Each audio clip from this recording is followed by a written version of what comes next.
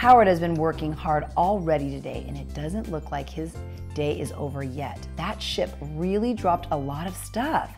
Suddenly, Howard hears a muffled call for help. It was Starfish Cindy that he heard, and she is trapped under a pile of tomatoes. Oh no! Starfish have arms, but they really move very slow, and she is unable to set herself free from this mess. oh no! Luckily, Howard is nearby and heard her. Howard rushes over and removes the pile. Thank you. Howard, I really need your help, said Cindy, but now Howard had to put the pile of tomatoes somewhere.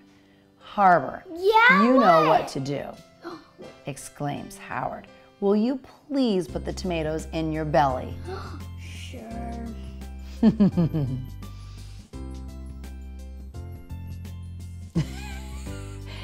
Have you ever had a tomato before? what do you think? Medium? I'm impressed by you right now. I'm impressed. He's eating tomatoes. How is it? Smushy goo?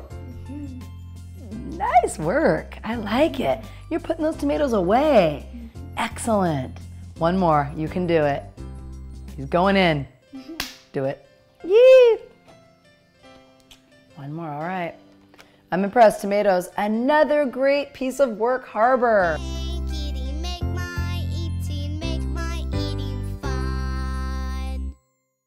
Healthy eating is fun.